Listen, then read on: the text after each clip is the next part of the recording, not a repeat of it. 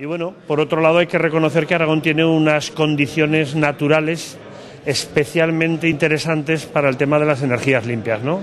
En consecuencia, yo creo que en el escenario que se nos avecina, que es un escenario en, que, en el que vamos a tener que hacer un esfuerzo de imaginación, de innovación tecnológica, de formación de gente, de especialización empresarial en el mundo de las energías limpias, Aragón tiene unas características envidiables. Y creemos que la credibilidad pasa por un acuerdo global vinculante. No se trata de una mera declaración de intenciones, se trata de un acuerdo donde efectivamente todos los países que lo suscriban eh, se vean obligados con unos compromisos y unos, podríamos decir, unos sistemas de seguimiento lo suficientemente estrictos como para asegurar que se acuerdo se va a poner en marcha.